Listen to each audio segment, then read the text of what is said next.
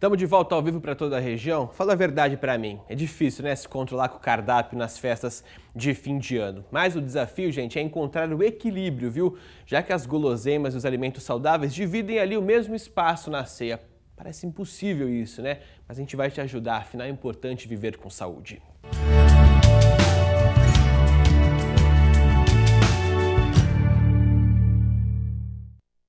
Final de ano chegou e com ele as tentações das ceias em família. Difícil é deixar alguma comida gostosa de lado, né? Lá em casa não falta churrasco, que a turma gosta de carne. Mas um chester, né? A gente faz, umas frutas, né? Uma boa maionese. Tem que ter comida boa. Tem que ter comida boa. E come sem restrição? Sem restrição. Muita gente não abre mão de comer bem nas festas de final de ano. Afinal, o cardápio é bastante variado. Mas o desafio é encontrar equilíbrio, já que as guloseimas e os alimentos mais saudáveis dividem o mesmo espaço na ceia. Por isso, a gente convidou esta nutricionista para ajudar nessa missão quase impossível. A gente começa então pela parte mais difícil: se comportar diante das opções. Os alimentos que a gente que são clássicos dessa época do ano são alimentos nutricionalmente muito bons. Então a gente tem as carnes brancas, né?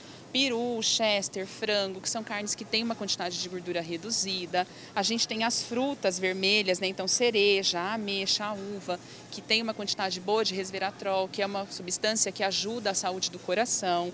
E a gente tem as outras frutas frescas, pêssegos, nectarina, o próprio abacaxi, que tem o ano todo e que faz parte desse momento também, que são alimentos que têm muita fibra, eles vão auxiliar na digestão. Tem ainda as castanhas, que são alimentos ricos em gordura insaturada, que também aumentam o colesterol bom. O grande problema das ceias é que a gente come alimentos bons, só que a gente exagera na quantidade. Agora, se não teve jeito e você exagerou, dá para aliviar o estômago. O abacaxi é um dos alimentos indicados para isso. É interessante que ela consuma após a refeição chás que aumentam o metabolismo, porque essa digestão ela vai ser acelerada, dando essa sensação de conforto. Então, hibiscos, canela, gengibre, o próprio chá verde são chás que, que auxiliam nisso. E frutas que auxiliam na digestão, nós temos um exemplo do abacaxi. O abacaxi tem uma substância chamada papaina que ela auxilia na digestão de proteínas principalmente. Então dá um alívio quase que imediato. Bom, aliviar dá. Só não existe receita mágica para evitar os quilinhos a mais.